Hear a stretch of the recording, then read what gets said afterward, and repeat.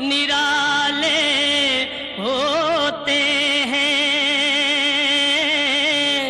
माता जिनका नाम पुकारे किस्मत वाले